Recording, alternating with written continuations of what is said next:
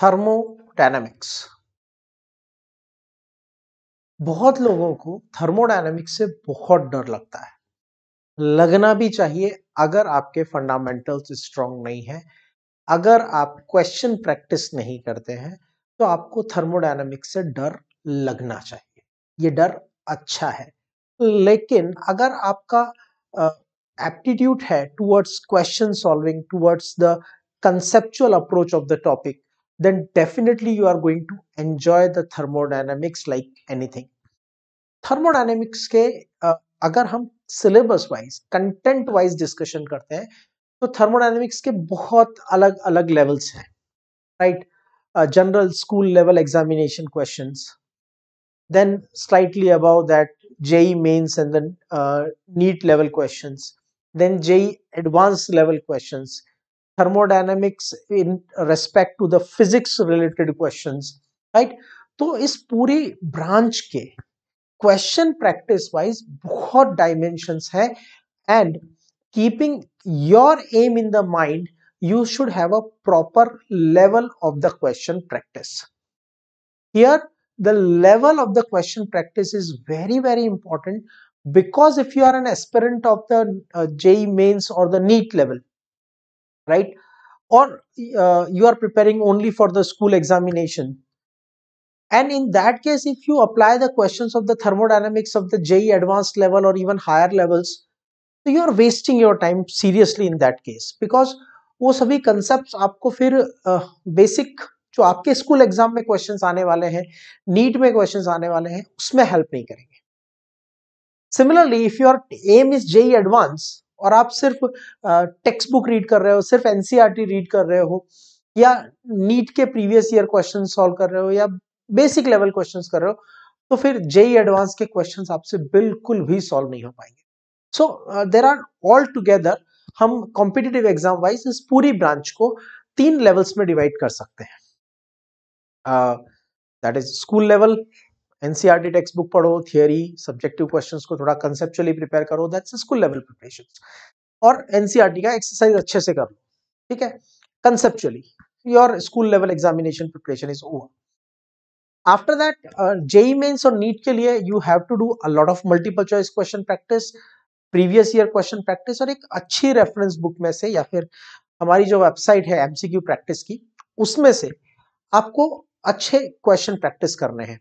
And then for JE advanced level uh, this theory will not be sufficient for that uh, a lot of extra theory topics to be prepared and then a lot of higher level questions need to be practiced well thermodynamics से इतना डर क्यों लगता है इतनी practice क्यों चाहिए देखो ये एक ऐसी ब्रांच है जिसको शायद डेवलप होने में सबसे ज़्यादा टाइम लगा होगा जैसे न्यूटोनियन मैकेनिक्स है। एक ही साइंटिस्ट आए न्यूटन एप्पल गिरा और एक एक करके सब रूल्स बना गए और जाने से पहले आपको तीन इक्वेशन हाथ में दे गए कि ये कंसेप्ट अप्लाई करो इन्हीं को इधर उधर घुमा के यूज़ करो आपके मैकेनिक्स के प्रॉब्लम सॉल्व हो जाएँगे। ठीक है?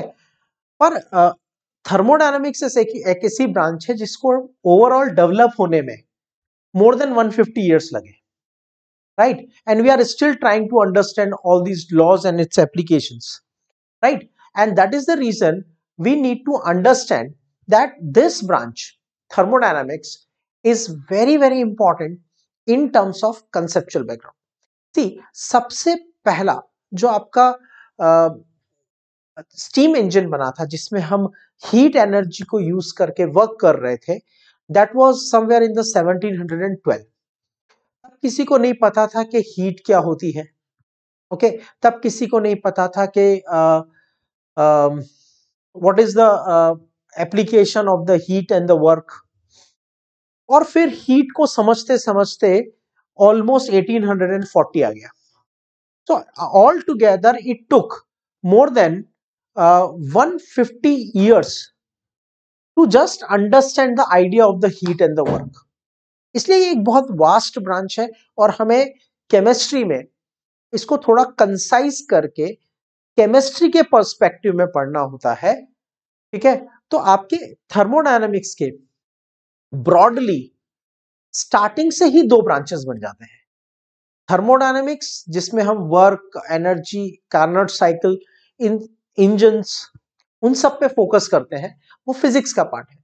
केमिस्ट्री में जो हम थर्मोडायनेमिक्स अप्लाई करते हैं, वो बेसिकली थर्मोकेमिस्ट्री होती है राइट चलो there are many new things which will be coming during the discussion तो बाकी की बातें ड्यूरिंग द लेक्चर आगे करते हैं।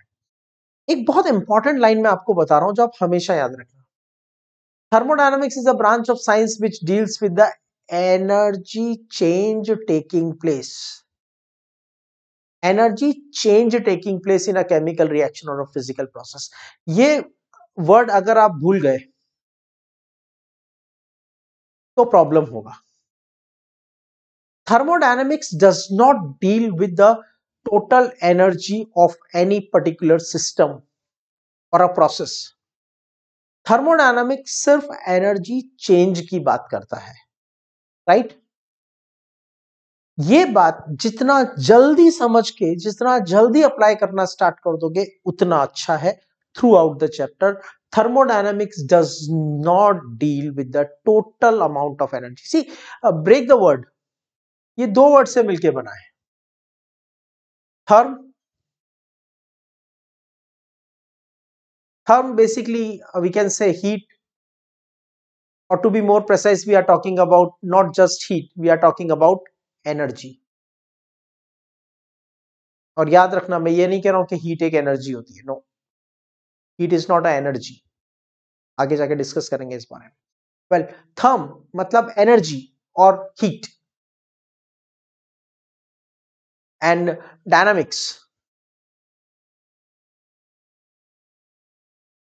मतलब मूवमेंट कह लो या एक्सचेंज कह लो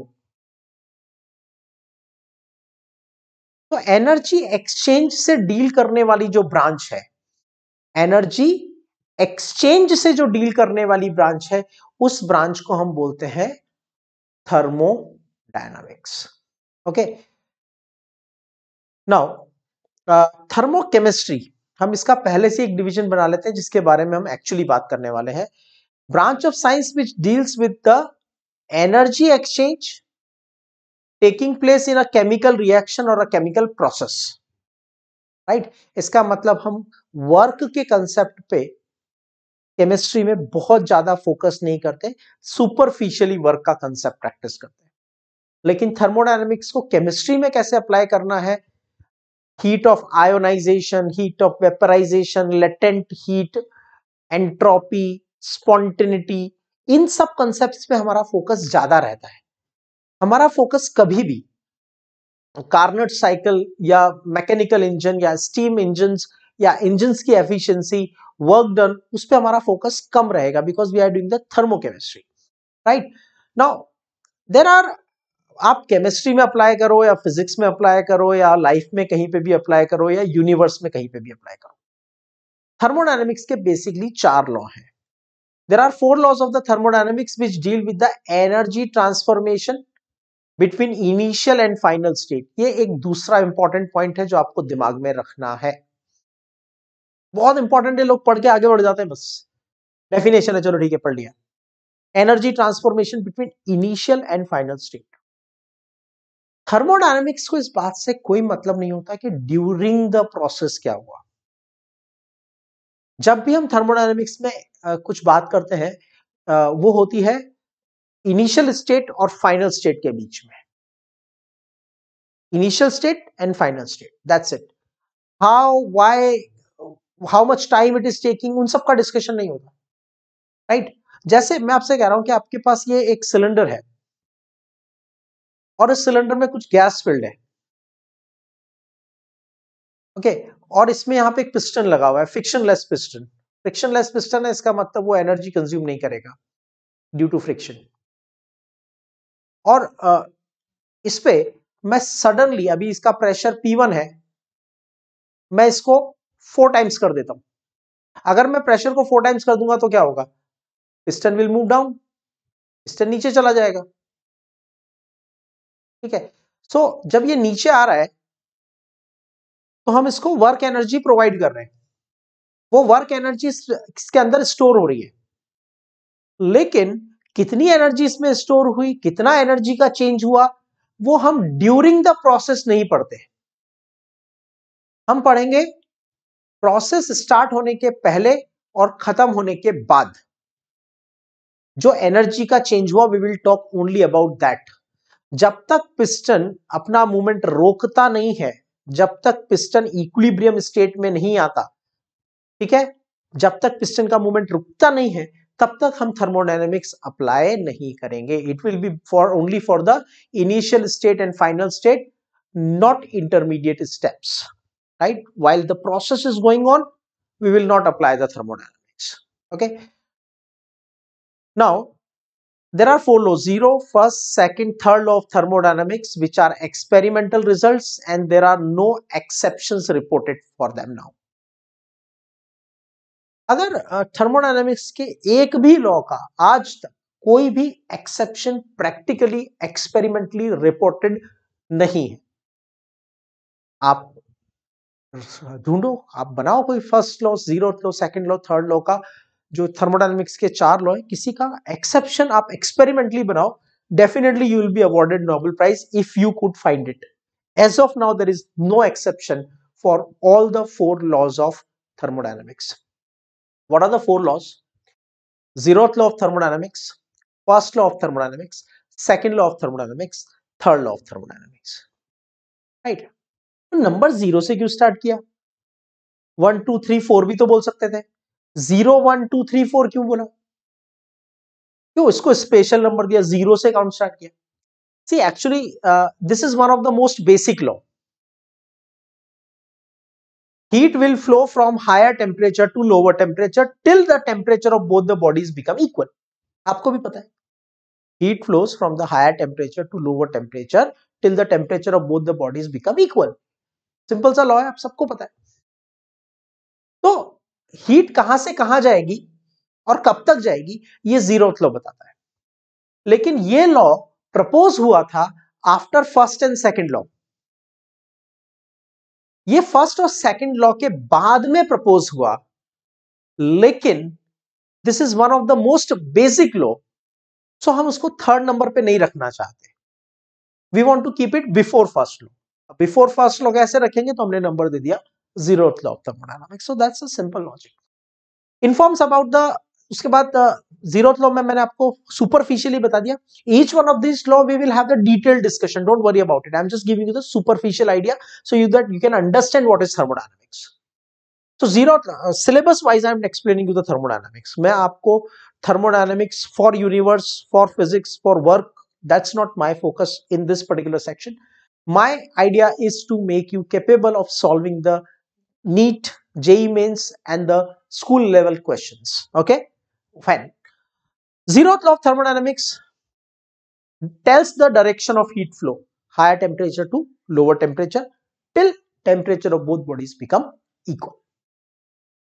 अब इसमें मैं बहुत सारे कुछ कॉम्प्लिकेटेड क्वेश्चंस आपके सामने रखूँगा और हम डिस्कस करेंगे what is temperature right what is heat what is work ये सब आगे धीरे धीरे आएगा अभी पहले ओवरव्यू कर लेते हैं first law of thermodynamics is nothing but the law of energy conservation मैंने किसी सिस्टम को क्यू हीट दिया? और उस सिस्टम ने डब्ल्यू वर्क कर दिया। क्यू हीट प्रोवाइड किया? मतलब एनर्जी बढ़ गई। और उस सिस्टम ने डब्ल्यू वर्क किया तो उतनी एनर्जी कम हो गई। तो that will be equal to total energy change बस यही फ़र्स्ट लॉ है। तो first law is nothing but law of energy conservation right energy क्या है? क्या है एनर्जी? जब मैं पूछता हूँ आपसे एनर्जी क्या है, आप बोलते हो, लाइट एनर्जी है, साउंड एनर्जी है। ठीक है? बहुत सारी एनर्जी के आप नाम बता दो। पर ये एनर्जी है क्या? व्हाट इज़ एनर्जी तो अभी इतना सा समझो, एनर्जी एक बहरूपिया है।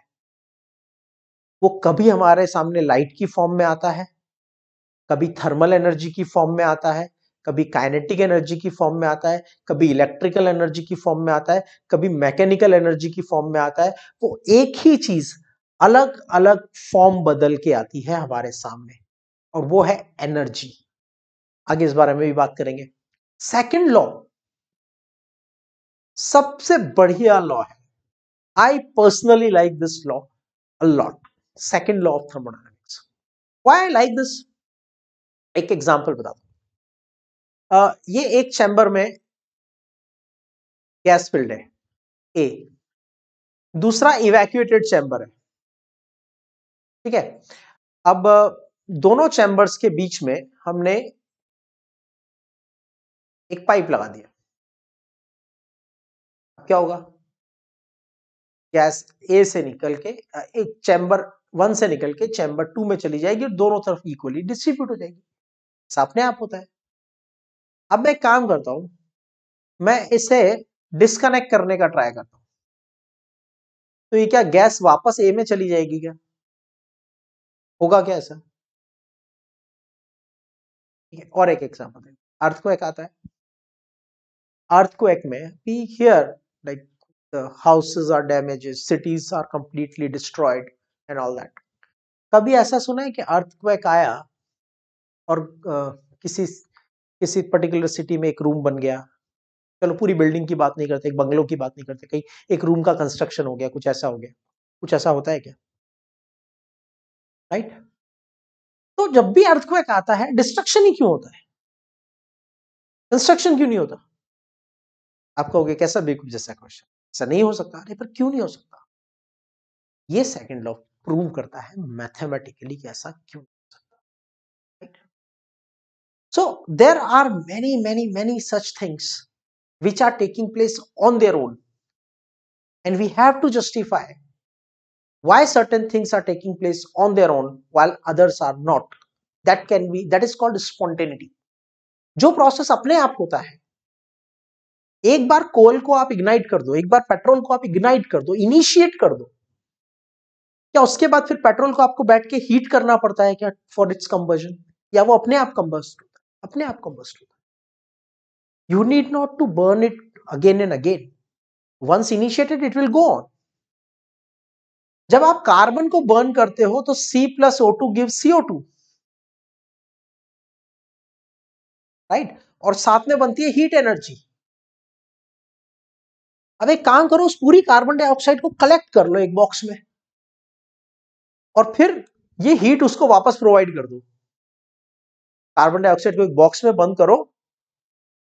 जो कार्बन डाइऑक्साइड आपने बनाई C plus O two give CO two उस पूरी कार्बन डाइऑक्साइड को एक बॉक्स में कलेक्ट कर लो और जितनी हीट आपने उससे ली थी वापस उसको दे दो। क्या वो वापस कार्बन में कन्वर्ट हो जाएगा क्या? नहीं होता। तो क्यों नहीं होता? क्या प्रॉब्लम है? ये बात का जवाब मिलता है सेकंड लॉ ऑफ़ थर्मोडायनामिक्स से। Right feasibility whether a process is ever possible और not if possible spontaneity will it take place on its own और we have to carry it out हमें उसकी हेल्प करनी पड़ेगी या वो अपने आप हो जाएगा? Right if I pick up some object I am taking this object from this level to this level. right? तो यहाँ से यहाँ तक जाना तो पॉसिबल है मतलब फिजिबल है। लेकिन क्या ये अपने आप जाता है? I have to take it ये जो डायरेक्शन है, ये नॉन स्पॉन्टेनियस है। अपने आप नहीं होता, मुझे करना पड़ता है। और अगर मैं छोड़ देता हूँ तो नीचे तो अपने आप आता है।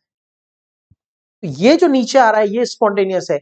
ऊपर जाना स्पॉन्टेनियस नहीं है। जो चीज़ अपने आप होती है, वो स्पॉन्टेनियस जिसको एक्सटर्नल हेल्प से करना पड़ता है, वो नॉन स्पॉन्टेनियस तो कौन सा स्पॉन्टेनियस होगा? कौन सा नॉन स्पॉन्टेनियस होगा? इसको मैथमेटिकली सेकंड लॉ प्रूव करता है। एक्सटेंट ऑफ़ रिएक्शन कोई भी स्पॉन्टेनियस प्रोसेस अगर हो रहा है तो वो कहाँ तक होगा? कब तक, किस एक्सटेंट तक होगा? That is also inform by the second law we can also calculate the equilibrium constant and we can find the free energy change ये लास्ट दो पॉइंट के बारे में बाद में बात करेंगे। Third law of thermodynamics talks about the absolute entropy of the system entropy word आया है। Right right? क्या होता है? एंट्रोपी एंट्रोपी का मतलब होता है रेंडमनेस देखो मैंने आ, एक सॉलिड लिया। सॉलिड में पार्टिकल्स का ऑर्डर्ड अरेंजमेंट होता है। ठीक है? तो मैं कहूँगा इसकी एंट्रोपी मिनिमम है। इसमें डिस्टरबेंस मिनिमम है। आप कहेंगे मिनिमम का है? इसमें तो कोई डिस्टरबेंस ही नहीं है। सब कुछ परफेक्ट ऑर्डर्ड है। नहीं। हमें दिख नहीं रहा है, लेकिन सभी पार्टिकल्स के पास वाइब्रेशन एनर्जी है। वो अपनी जगह पे बैठे बैठे वाइब्रेट कर रहे हैं। तो अंदर डिस्टरबेंस है, लेकिन बहुत कम है। अब मैं इसको थोड़ा हीट कर देता हूँ। तो particle start moving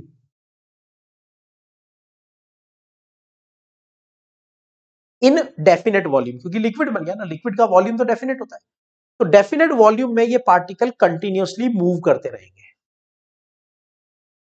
continuously move कर रहे हैं मतलब कोई प्रॉपर अरेंजमेंट नहीं है। मैं कहूँगा एंट्रोपी बढ़ गई रैंडमनेस बढ़ गई। अब मैं इसको वेपराइज कर देता हूँ। Particles are free and moving in any possible direction कहीं भी जा रहे हैं और बहुत फास्ट जा रहे हैं। कोई डेफिनेट वॉल्यूम भी नहीं है। That's called as entropy as further increase ठीक है? तो will talk more about entropy ये आपको मैंने आइडिया दे दिया। और किसी भी सिस्टम में कितनी एब्सोल्यूट एंट्रोपी है, ये थर्ड लॉ ऑफ़ थर्मोडायनेमिक्स से फाइंड हो जाता है। ठीक है? Thermodynamics works on heat work spontaneity and extent of process ये थर्मोडायनेमिक्स का स्ट्रैक्ट है। थर्मोडायनेमिक्स में बहुत कुछ पता चलता है। मैंने अभी आपको बताया क्या क्या पता चलता है। आपको ये पता चल जाएगा कि टेम्परेचर क्या है। आपको ये पता चल जाएगा हीट फ्लो का डायरेक्शन क्या है। आपको ये पता चल जाएगा कि किसी प्रोसेस में कितनी एनर्जी चेंज होती है। जब भी मैं कोई कोई भी प्रोसेस करता हूँ, थर्मोडायनेमिक्स आपको बता देता है उसमें कितना एनर्जी चेंज होता है। थर्मोडायनेमिक्स आपको ये भी बताता है कि ये पॉसिबल भी है या नहीं है। प्रैक्टिकली तो इसको कर सकते हैं या नहीं कर सकते। Spontaneity right? वो अगर कर सकते हो तो will it be taking place on its own और you have to carry out ये आपको बताता है कब तक ये प्रोसेस चलता रहेगा। Not duration right but it tells you to what extent कितना रिएक्टेंट प्रोडक्ट बनेगा, तब तक ये रिएक्शन चलेगी। ये थर्मोडायनेमिक्स आपको बता सकता है। उसके बाद ये equilibrium constant free energy change entropy इतनी सब इंफॉर्मेशन आपको थर्मोडायनेमिक्स से मिल जाती है। थर्मोडायनेमिक्स से क्या नहीं मिलता। Not inform you the rate of reaction एक बहुत अच्छी इंफॉर्मेशन दे रहा हूँ। बहुत बेसिक है, लेकिन लोगों का ध्यान नहीं जाता। पूरी थर्मोडायनेमिक्स में, पूरी थर्मोडायनेमिक्स के, या थर्मोडायनेमिक्स के किसी भी फॉर्मूला में टाइम कोई पैरामीटर नहीं है। राइट मैं आपको एक छोटा सा एग्जांपल देता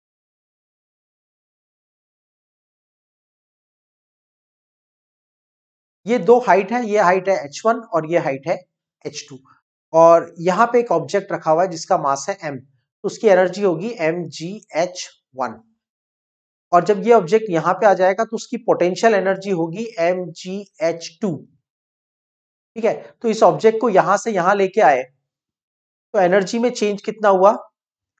M G H two minus H one is the energy change final minus initial ठीक है?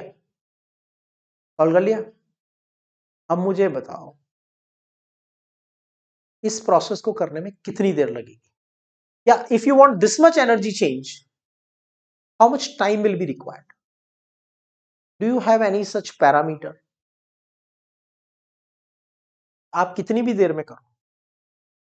आप उसको रख के छोड़ दो, एक साल बाद उठा के आके ऊपर रखो। राइट या आप उसको एक सेकंड में उठा के ऊपर चेंज सेम रहने वाला है। M G H two minus M G H one ऐसे बहुत सारे एग्ज़ाम्पल है। अच्छा एक बात बताओ। वन मोल गैस का एसटीपी वॉल्यूम कितना होता है? आइडियल गैस का। आइडियल गैस का वन मोल आइडियल गैस का एसटीपी वॉल्यूम कितना होता है? एनी आइडिया 22.4 कितने बजे? एट वॉट टाइम सुबह सात बजे या शाम को सात बजे? आफ्टरनून ट्वेल्व ओ क्लॉक और night twelve what is there any criteria is there any such criteria no कितने भी बजे? थर्मोडायनेमिक पैरामीटर फिक्स है। वन मोल आइडियल गैस का वॉल्यूम 22.4 लीटर होता है होता है। What can what can you do about it? Nothing. That's what we are saying. That uh, time का कोई पैरामीटर नहीं है, इसलिए किसी प्रोसेस को होने में कितना टाइम लगेगा?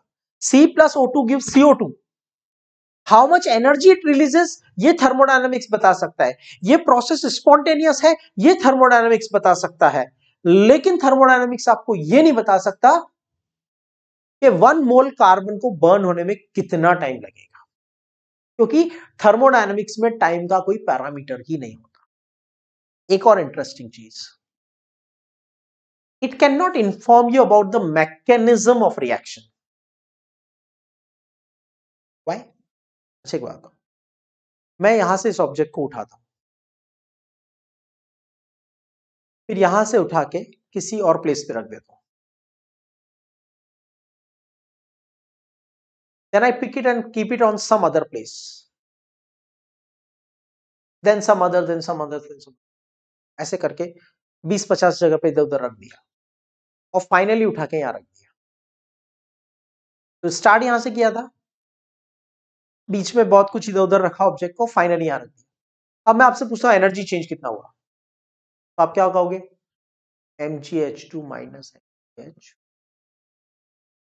final minus initial या फिर आप ये कह सकते हो कि जब सभी एनर्जी चेंजेस को आप ऐड करोगे तो फाइनल एनर्जी चेंज आएगा M G H two minus M G H one मतलब बीच में आपने क्या किया, उससे थर्मोडायनेमिक्स को कोई मतलब नहीं है।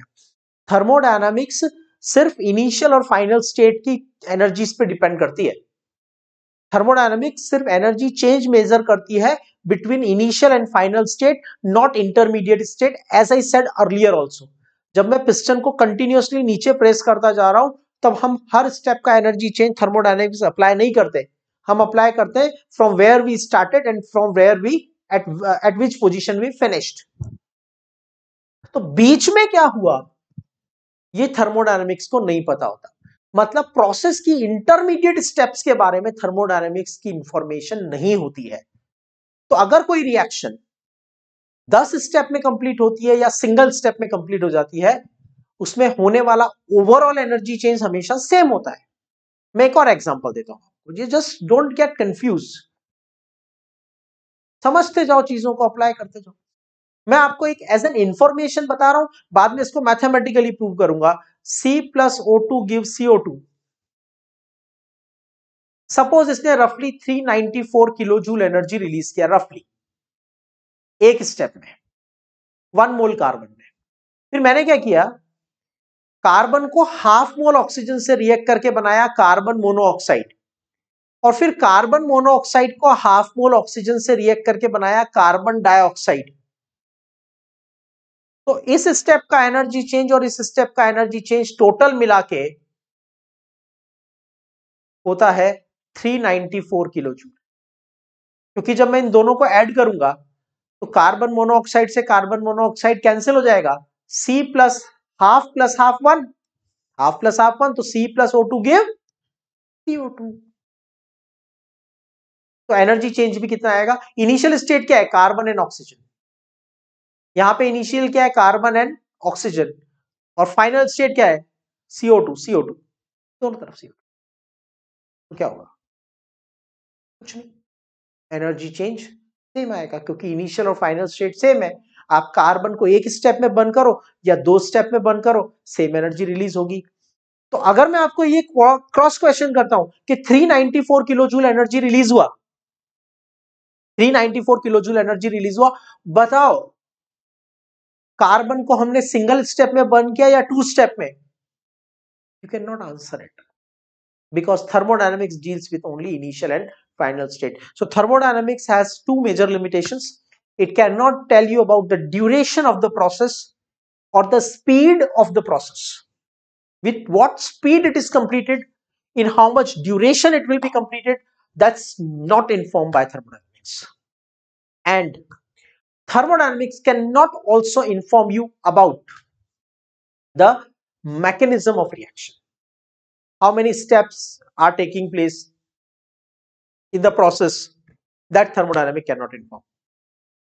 To overcome these two limitations, speed and mechanism, we have introduced a new branch that's called chemical kinetics.